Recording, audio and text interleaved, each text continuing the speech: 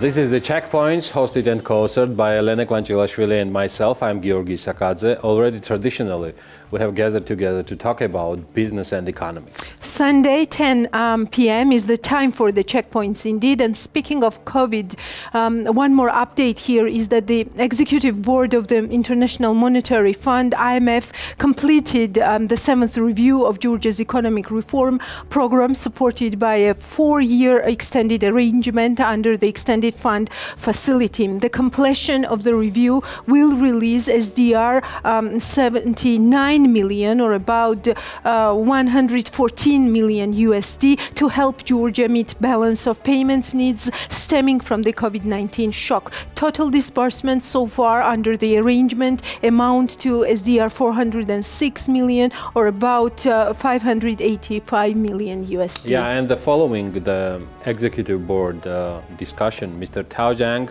IMF Deputy Managing Director and Chair, made the following statement that Georgia faces a pronounced economic slowdown due to the COVID-19 pandemic, despite the successful containment uh, of the first wave of the pandemic, the recent rise in cases has required new measures that could weaken the recovery.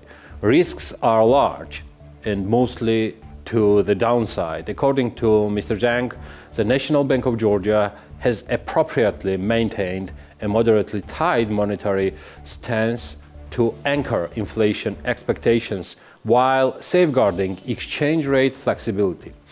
Inflation pressures have abated, the output gap widened, and the nominal effective exchange rate stabilized.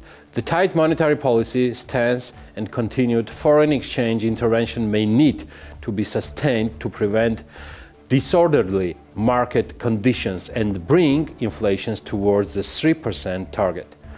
Macroeconomic policy, discipline, and donor support is expected to keep foreign exchange reserves at an adequate level. The proactive monitoring of financial risks and actions to preserve banks' capital until the economy rebounds would support the recovery. Uh, Georgi, to further continue Mr. Zhang's arguments, the IMF believes that the fiscal response to the pandemic has helped alleviate its adverse economic and social impact with higher healthcare spending targeted and temporary support to households and businesses and sustained public investment.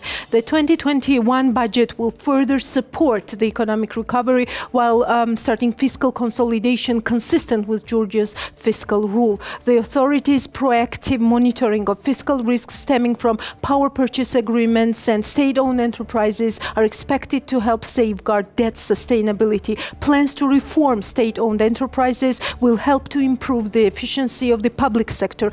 This is another um, emphasis of the uh, statement. One more highlight is that decisive implementation of structural reforms is critical to support the recovery and limit scarring from the COVID-19 shock. Mobilization mobilizing investment, advancing education reform, implementing the new insolvency framework, developing the local capital uh, market and judiciary reforms would further improve the business environment and support private sector-led growth. Performance under the IMF-supported program remains satisfactory. The EFF arrangement has helped support the authorities' policies to limit the economic impact of the pandemic. Um, I will remind um, our viewers that these are the words of Mr. Tao Zhang, IMF Deputy Managing Director and Chair of the Executive Board.